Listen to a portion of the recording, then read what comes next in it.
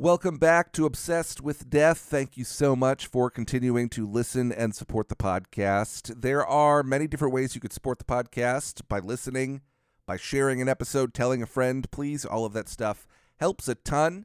Uh, you know, posting the most recent episode that you listen to on social media is great. And uh, like I said, maybe just mentioning it to a pal that you think would like the podcast. All of that stuff helps a ton. Today, I am joined by journalist, author, and speaker Alix Strauss. She is celebrating the 20th anniversary of the cult classic novel, The Joy of Funerals. If you are unfamiliar with Alix's work, I definitely recommend checking out The Joy of Funerals. Make sure you pick up the reissued version that came out in October and check out some of her other work as well. You can go to alixstrauss.com for more info.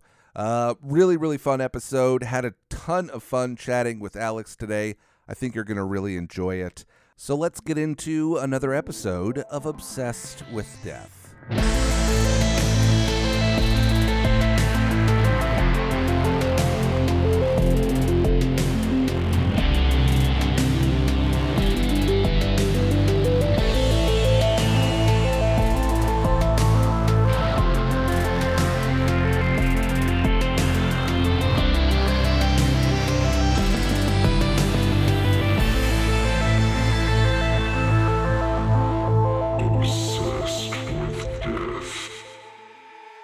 Thank you so much for coming on the podcast. I sort of explained uh, a little bit about who you are and what you do, but I would love if you wouldn't mind just sort of introducing yourself and letting everybody know, you know, who you are and what you do. Sure. First of all, thank you for having me. I so appreciate it, and it's great to find a, a fellow death fan. If I can actually put those two words together, without us both sounding gruesome and and crazy. So I cover trends and pop culture uh, predominantly for the Times as a contributor. And I write books with unusual titles. The Joy of Funerals was definitely ahead of its time. Uh, I'm I've become very good at finding white space and then surprisingly being able to fill it. So I had this crazy novel, um, The Joy of Funerals, which was absolutely 20 years ago ahead of its time. And that was followed by a nonfiction book on suicide, the most unusual, interesting, fascinating literary suicides of our time, the 20 most influential from a pop culture point of view, which had not been done before. And, and here we are now in a moment where unfortunately suicide is at an all-time high. So I and I had a White Lotus before there was a White Lotus in a, in another novel uh, called Based Upon Availability that all took place at the Four Seasons Hotel. So sometimes that can work for you or it can work against you. And I think part of what's been so fascinating in this additional tour of the Joy of Funerals is we are in this death curious moment now. And I that definitely could not have been said 20, 21 years ago when we were still whispering the word cancer.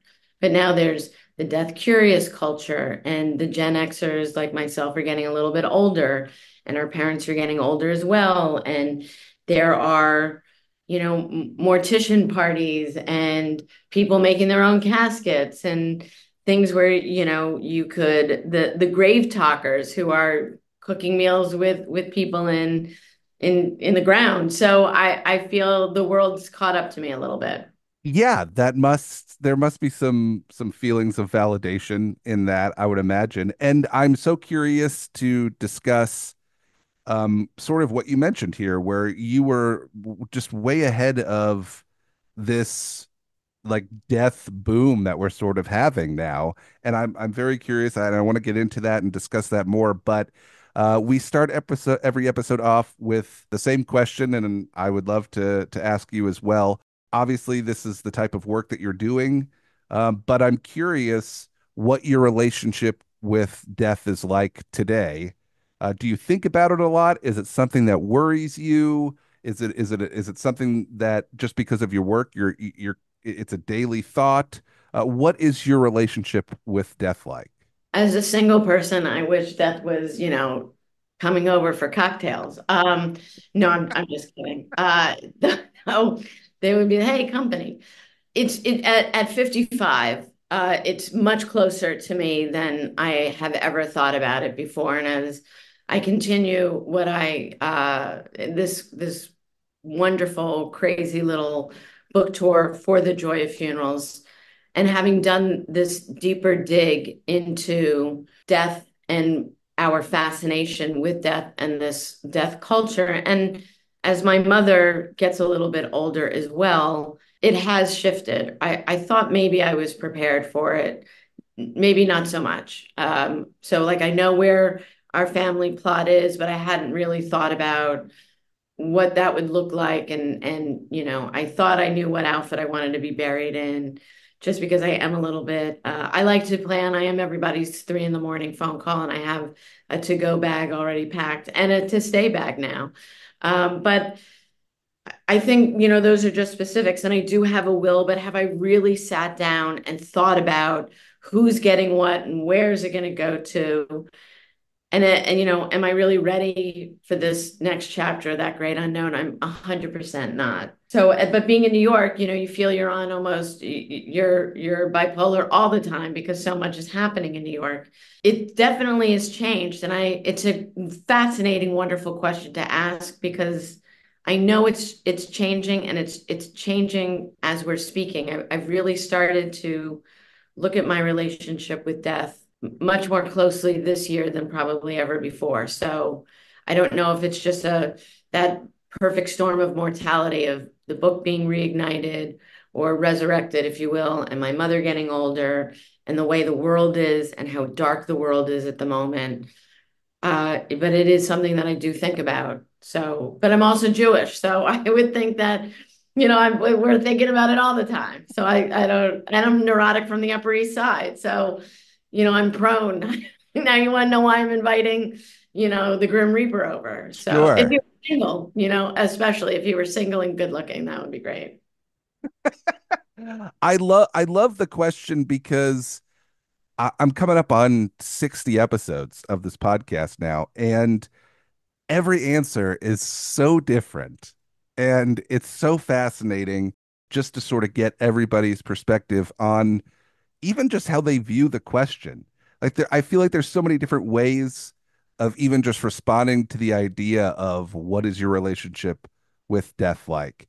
And a lot of people, I think, don't necessarily have one. Maybe more so the people that are listening to this podcast or that are reading your books, they may have more of a relationship with death in the sense that they do think about it more than the average person. But I, I mean, I just I don't think not that I'm necessarily looking for like a there's no right or wrong answer to this, but I just I love I, I love asking people that question. I wish I could ask everybody. Most people don't want me to ask them that question, you know? And it's part of why we're here now doing this is because I'm just constantly looking for people to tell me what you think about death. Like I want to know. It makes me feel better. You know, that's so interesting. If you don't like candy, don't go trick or treating. I mean, I, I can't imagine being on this podcast and not being willing to, or thinking about, huh, I, I wonder if he's going to ask the question he always asks. And I wonder yeah. what, I mean, I hadn't thought about it until, you, you know, uh, in, in this way per se, but I, I do, I, I, I have been thinking about it. So I wasn't thrown off, but it is if people don't want to talk about death then they absolutely should not be they should not be doing this with you. You know that sort of brings me to what we discussed just a little bit earlier here. You know you were you were writing about death. You were having these thoughts and these discussions and sort of putting yourself in this world uh you know 20 plus years ago when people were uncomfortable discussing illnesses and and you know, specifically cancer. And I- am just so curious as to what that was like. Did did it feel lonely? Were were you almost inspired by the fact that you were sort of touching on this subject that m- most people were afraid to touch on, and then obviously the response. I, I just asked you like nine questions, but uh, what what was that like? Uh, you know, w- working in this space uh, when most were were uncomfortable with it. Yeah, it, it's definitely lonely. Um, and it's it's hard being early to market. I didn't think it would be this hard. And I, I didn't even think I was early to market when I wrote it. I thought I had something that no one else had in the way in which I had it. And I, I didn't think, I hadn't seen anything written about funerals and death. And it's, and I think people instantly think morbid and it's not. And I think that's what's changed the most, maybe in these 20 years. So originally the joy of funerals a novel and stories was was written because i had a piece in the new york times published on why i like funerals a, an essay about being an only child actually the only only child ever in my family so as far back as you can trace everybody has had more than one child except my parents who could have had many and chose to just have me. But in doing that they they also were were terrible at at creating a family or introducing me to relatives and cousins and all sorts of people that I was connected to. And so we also were not really invited to the weddings and the the happier occasions or maybe my parents were and they left me home. So I had no foundation. And so I I, I learned to like funerals because everybody's invited and everyone deserves a chance to say goodbye and so to me at 13 they were like, holy shit, this is a reunion. Like, this is awesome. There's food, and yeah, there's one less family member, but it's like great Aunt Edna, and she's 104. And but this is your cousin, and this is your aunt, and here's your uncle, and this one's a little weird and had some face work, but they're a lot of fun. And and it was just, it was, it was wonderful. And those became my reunions. And then I also love the idea of community and intimacy. And I'm fascinated fascinated by human behavior and intensity. And I, I think all of that converges at a funeral. And so I was working in the fiction space and I realized that in all of my short stories, somebody was dying. And I thought, well, that's interesting. And then I thought, well, what if I had a character that went to all the funerals you've just read about?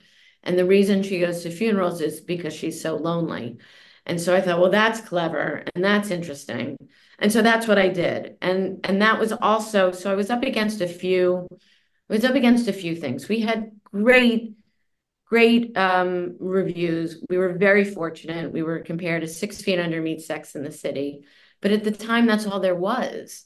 And so we had a weird title that people were slightly offended by. I mean, we did not do well at the old age homes. So reading from the, the, joy of funerals, you know, I think we also had a very different way to, to tell a story. It was not a typical beginning, middle, and an end. But streaming now, 20 years later, has helped tremendously in sharing flashbacks and and flash forwards and different devices and you can have different characters tell stories and there doesn't need to be this very staccato way of of telling a a story. And then I had this subject that people saw as dark, but we love to confuse dark as something unattractive or not interesting to talk about, or we shouldn't talk about it, or it's taboo. And that's not really the truth. The truth is something that is dark means it could just be very deep, it could be very intimate, it could be very raw and exposed and vulnerable and interesting. And so here we are 20 years later. We've come off of a of a pandemic and we're in a loneliness epidemic and it all these worlds converged at once. And this was the longest answer. And I it became a soliloquy. And I'm so sorry for that. And to all the listeners, I swear now, shut up. No, please. You're the perfect guest because I I'm never gonna feel like I need to pull an answer out of you. I haven't had a lot of them, but there are a couple of people that have come on here where it's like it was like pulling teeth. Where I was like, I thought this is a podcast. Please never apologize for the, the long response. I love it. I, I, if you see me like sort of my eyes darting, it's because I'm constantly making notes because there's a million things I want to say from your response. Uh, you mentioned community, and I love that so much, right? Because the idea that you were going to a funeral and you immediately felt like a sense of community ah that make that i i love that so much i don't think i don't know if most people are going to go to a funeral and immediately feel like the, I, I i've seen it but it's so rare I think that feeling of community at a funeral is so rare. And it's so relatable because I'm I feel like I'm constantly searching for community as well. Just my myself personally. It's Me too. it's something that gets brought up in therapy weekly for me. It's it's I talk about it.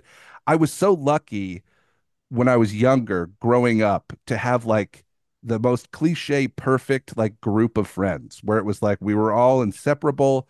We did everything together. It was like it was a cliche how how close we all were and and the way we got to grow up. And I feel like you lose that as you get older with people moving and starting families and, and all of that stuff. Life just happens and that goes away. So it is harder for people to get together and for everybody to be in the same room. And funerals are one of those rare situations where it does sort of bring everybody together for an unfortunate circumstance but it does create this sort of community if only during the funeral itself. But i just i just love the idea of and it's sort of happening now right? Like there is like this death community that's that's happening a lot online and more in person all the time i'm seeing like these death events which are so cool so it's like yeah there there is this community sort of developing where somebody doesn't have to die for you to all get together I, I'm just I'm I'm curious for you, what what was it like? Where was that that that need of community community coming from? Do you do you feel like there was anything? You mentioned being an only child. I would imagine that could be a part of it, but but is there something you could pinpoint that was sort of drawing this this need for community? Yeah, I had I had parents who were are they were just um they were very non-parental in in putting together a structure or an environment in which there were, I didn't have family. I only had family for the briefest of moments at funerals. That's, but I, and I, I, that carried over. And I, I know you think it's rare and it, and it may be to, I'm wondering if maybe I'm just the only one who has vocalized it in a way that's obtainable or that people can digest to say, oh, that's the word we're looking for, because it seems so not common sense, but we are, even if we're strangers, we are all at this one event next to a wedding. It's almost the only time you can say, you are all there for the same exact reason, whether you knew this person through a variety of people, whether you knew them at work, whether you knew them privately through a, a family, but everyone, everyone is there for the same exact reason, which is to pay their respects, to celebrate a life, to to become part of something, you know, bigger than themselves. And that is this communal bonding, if you will. And so it, it only makes sense, even if I'm even if I'm the stranger in the room, I'm I'm not because I'm connected by this experience we are all sharing. Unless you're like the main character Nina, who is there under false pretense because she goes to other people's funerals she doesn't know, which I've never done, FYI. But we're all there for the same reason, whether we like each other or not we are all there for the same reason. And in that, there's community. You, it's just the way, I mean, at least, you know, I know we're now a, a, a, a generation or a society that says for me. And then we ask everybody why they all feel we're in this narcissistic moment because we're constantly adding the word for me in it, which we never did before. is if I, you know, I mean, I'm only speaking for me, but that's a whole other thing, but is maybe it's possible that that other people are feeling this. We just didn't know what to call it. For me, in yeah. a narcissistic way. yeah, no, I totally agree. I think you know you you you sort of mentioned it already, but we're we're living in a world where we've never been more connected, but most people have never felt more alone before it that's not real connection. So the connection that you're speaking to, if it's texting and insta lie, which is what I like to call it, it's not a real connection. It's yeah. not. I, I I really feel the brainwashing is real. There, yeah. it's not. a real connection. It's it's nobody likes to pick up the phone anymore. The phone was like the next thing we had if you couldn't see each other. Yeah. I just, you know, even zooming, it's just it just feels pushed and fake and phony and it, it's isolated us. I, I just don't see how people don't see how this is, it's isolating us. We're not, we're so lonely. We're so, even if you're married and with children and have two dogs and nine cats and a gerbil and, and a small chicken, you could still be lonely. There are people who something is happening for us all to feel disconnected. Yeah. It's not just, you know, it's not like I'm prophetic. It's, it's, something is happening. When I first reached out to you about coming on the podcast, you were like, "Hey, let's get on a phone call. I want to talk on the phone," and I love that. I um, I immediately was so much more excited to do this interview and to have you on the podcast and and to chat more because I felt way more of a connection talking on the phone than yeah just going through email or texting. I think there's a ton of value in that. I i, tr- I want to try and find the, the little bit of like positives that come from it and i think that there's there's moments but i do think in like 20 years people are going to be like i can't believe you had an instagram. That's insane. I couldn't imagine being a child right now being in high school with the internet. I would i would lose my mind but I am I am glad it brought us together. So there's like little pieces, you know. So you know there is talk of the technology to bring us back to death in a full circle moment. Yeah. There is talk of technology going into the coffins and you'll be able to take photos and uh and you can see that dead person or the deceased person or whomever in in in like selfies almost with with different backgrounds and so I think that's the next thing coming. I don't think that's so um it, that's not so far uh into the future and I don't think that's so crazy and I I guarantee you in the next few years that's going to be an offering. Oh, um yeah. So there's this writer director his name's Ryan Newfer. I did an episode with him. He did a short film about a selfie casket. It's I'll send it to you. It's incredible. It's it's it's he's an incredible writer, uh, director, and yeah, the entire movie is basically about this father who whose daughter is dying, and it, it covers like basically the dad being offered money to you know pr promote the selfie casket and he's looking at it as a way to stay connected with his daughter after she after she dies and it's an it's an incredible short film. If if if I'll, I'll, yeah I'll send it to you. He came on the podcast. We had a great conversation. Um, he was somebody else that you know I was just I me and him could have talked for about death for a very long time. Um, you did you did mention just sort of in passing that you've never gone to somebody else's funeral. That that this character you've created, she would go to other people's funerals, and I'm curious, are are you against that idea? If people are like really looking for like any sort of like sense of community, um, what if they what if they listen to this episode and decide I'm going to start, you know, quote unquote crashing funerals? It kind that I don't see. Is there anything? Is there? Is that bad? Is that wrong? I don't really. Is there something wrong with doing that? I I don't see the negatives to it. Well, what I I think what was really interesting about the main character Nina in in the Joy of Funerals, and and what I did have to do was make her an incredibly reliable character. So even though she's super lonely and she goes to other people's funerals in order to connect with the mourners and to feel more connected herself because she can't connect to the people in her real world. I like very much that she hadn't done anything terrible. Like she didn't kill anybody. She wasn't wanted by the law. She wasn't selling, you know, blocaine in, in the back of a Ford Chevy or something. Is is she, you know, doing the nicest thing and lying to people and sort of pretending to know? So that's what she does. You know, she goes to these funerals and there's a, a heart specialist who has died. And uh, she's like, he's the first one to detect the murmur. So she's brilliant at slipping in and out and becoming these, you know, um, she's a chameleon of sorts, a, yeah a, funeraling chameleon. Yeah. But it's a different kind of not real. And I think if you're starting any relationship off with a lie, that's bad. That's a bad idea.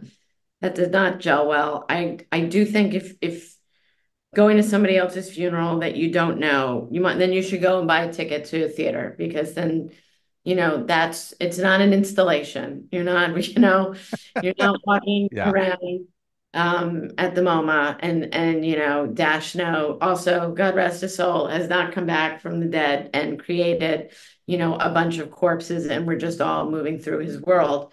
I I, I think part of it is is the privacy in one sense of those who it's that's that beautiful juxtaposition you know we're all some of us are strangers but we're allowed in because we did know that person as opposed to the person who is just I, I think go to the library or Barnes and Nobles or another location. I think pretending you know the deceased um, in a non-Meisner activity is probably the way there's it, there, there's such less connection happening at the Barnes and Noble.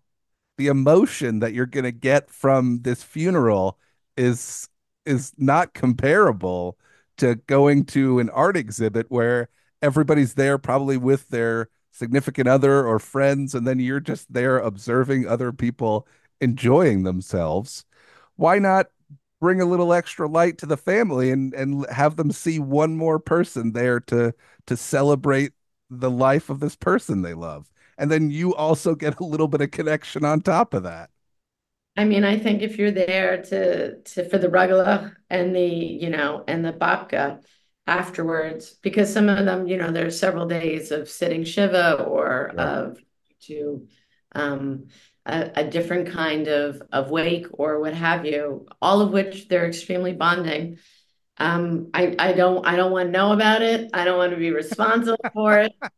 Go live your life and be well. Should you Right. choose to feel invigorated after hearing this podcast, run to light, Carol Ann. I, I don't I don't know. I it's absolutely not endorsing anything. No, of course not. I just think that it it's it's an interesting way to seek connection and Yeah. uh, uh, emotion from from strangers, I guess is really what you're you're getting from it. Because I mean, if you think about it too, is it's like I I, I had gone to some funerals when I was much younger for great grandparents.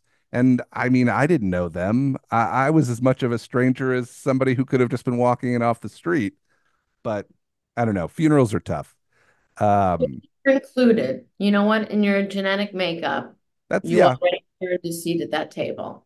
I And I am think yeah. that's that's what was so mesmerizing to me as a child. Yeah. Uh, you know, not only was it a it was a solemn event, um, and I was and it happened to have been for my grandmother, so it was somebody I was enormously close to. But when you're 13, and I remember holding court, I mean, I remember everyone being super nice to me. I, I really do remember being led around a room and and because she was the favored of her family and she had all these additional siblings. She was one of five. So everybody sort of did come and to be introduced to this is your cousin.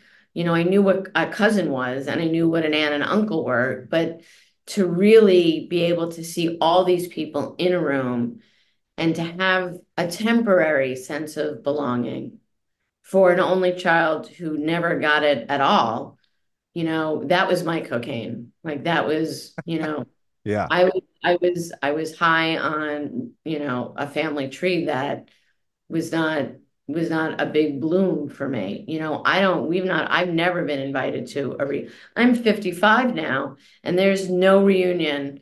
No one has ever invited me to a family reunion. And that's not to say I do have cousins.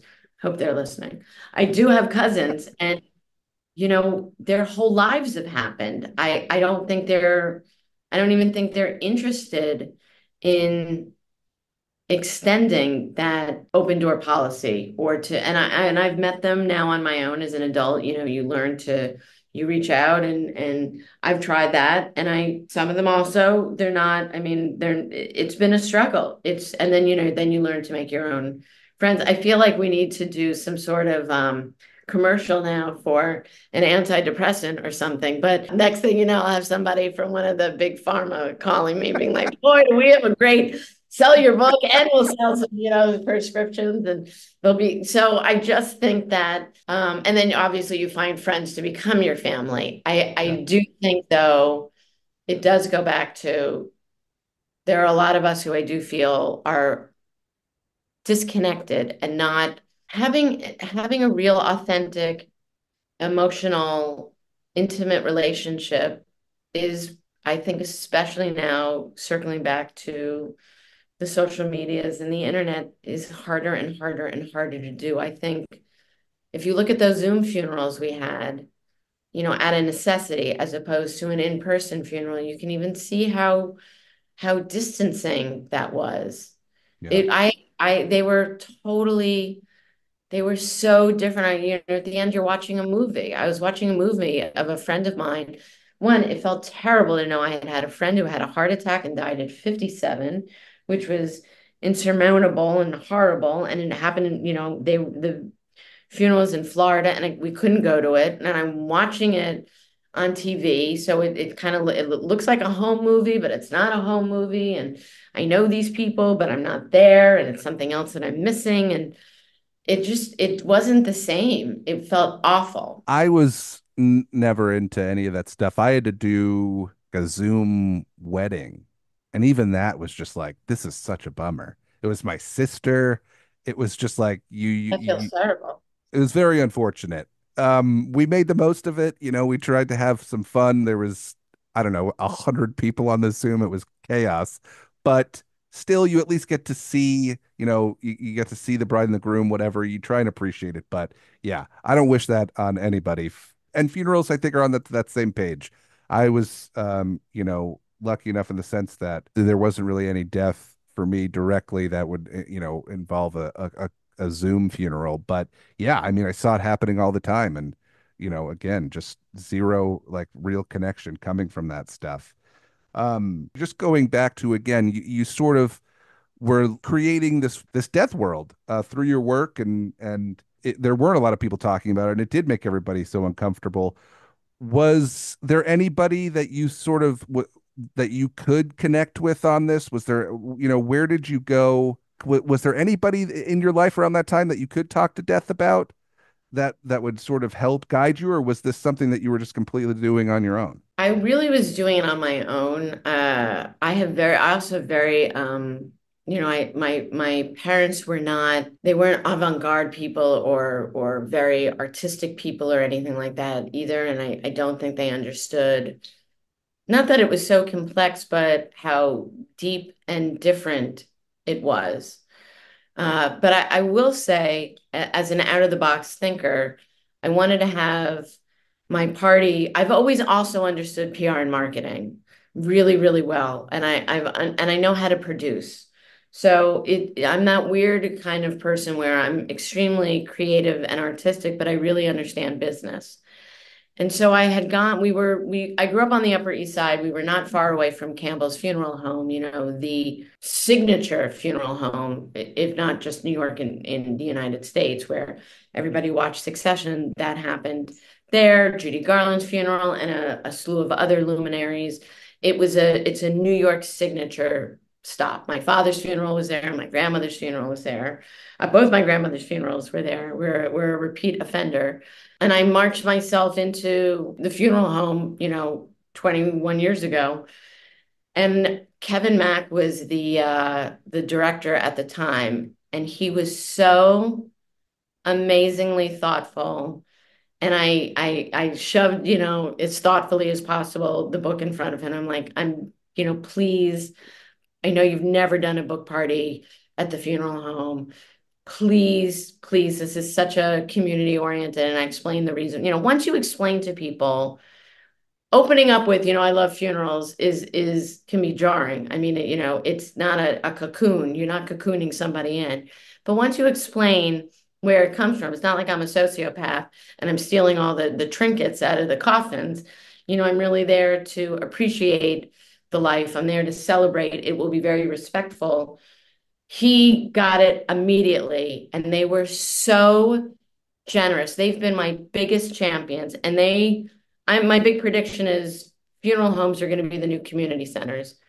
And then 20 years later, when this this novel was resurrected or or had a second life, using every pun available, I marched myself back to to Campbell's, and the new funeral director was Bill Villanova, who is just as amazing and just as thoughtful, if not even more so in in a, a even bigger thinker of what Campbell's is and what it stands for. And he got it immediately. And and he said, not a problem, we'll we'll do your book party as well. And so I'm a very big believer in matching theme with venue and and really having an experience.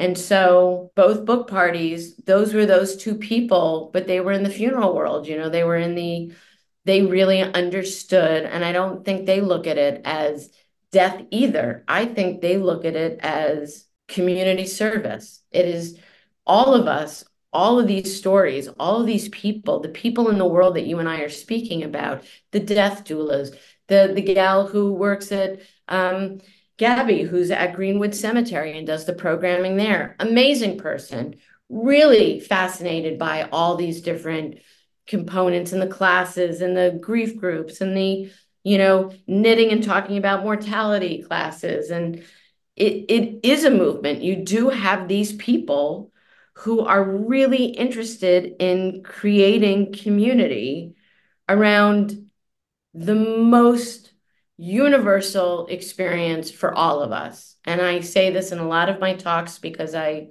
I write about I write about weddings. I, I a lot of my focus is on weddings, which is a different kind in some sense. It's a it's a happier funeral, so to speak. It's the beginning of a life together with someone else.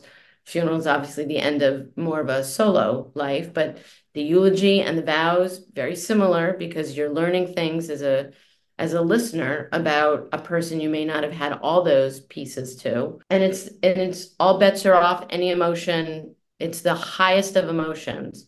You know people will will they may not find great love but they're always going to experience great loss. As humans we're always going to experience great loss. We're all going to have to die. We unfortunately are all going to, unless the people in the cryogenics or something else happens in a vanilla sky kind of way. But you know, I I'm still looking for for love, but you know, if if if the great unknown or God is is good to me, I got another 40 years to me. So, but I'm I, at some point I'm going to die. We're all going to die. We may not all find great love. I hope we all find great love. I would love, you know, not to die so soon or anything, but Another long-winded answer. I'm so sorry. Please never apologize. I love that. I, it's it's great that you that you had these people that you could reach out to, then that were so understanding.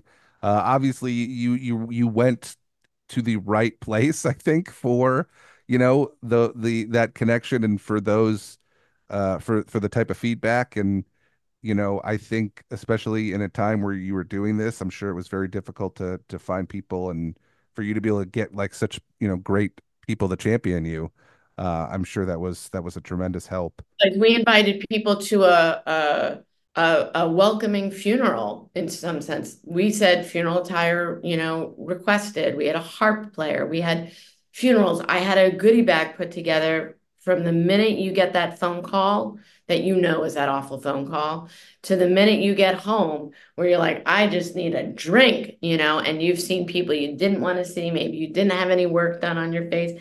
Maybe you didn't go to the hair salon beforehand. Maybe you barely held it together.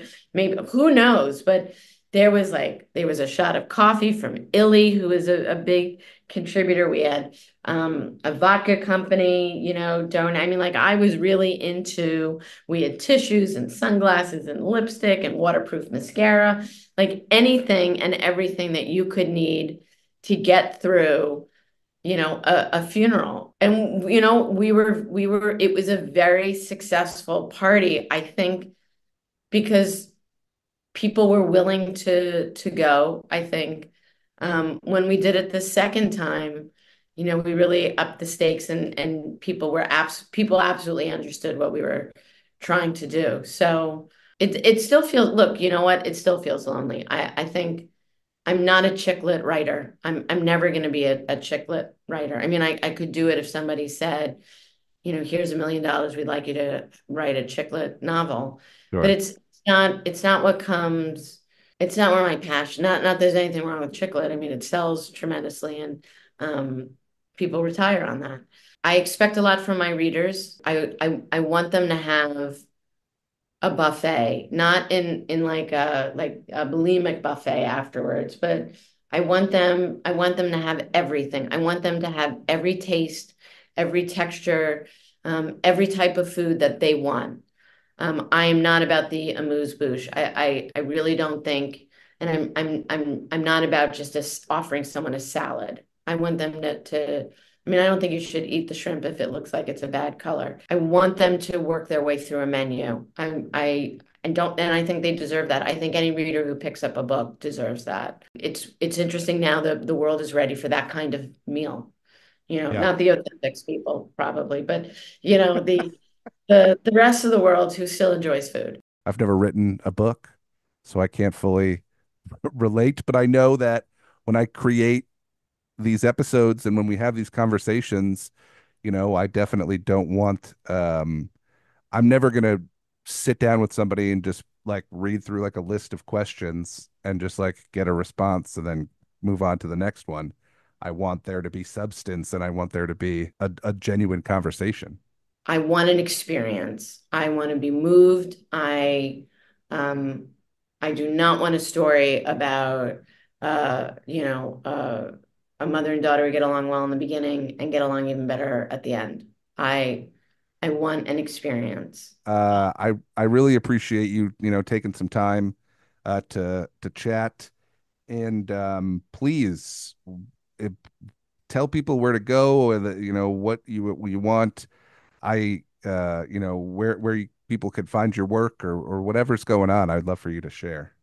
Thank you. Um, so if you do want to purchase the Joy of Funerals, the 20th anniversary edition, please don't go and purchase an old copy. Um, that would be amazing. It is on any anywhere you can find a book uh, online. The independents are fantastic. Uh, the the bigger companies also fantastic. It, please buy the book. Um, you can find me at alixstrauss.com on my website. And you can follow me also at Alix Strauss on Insta Live. There you go.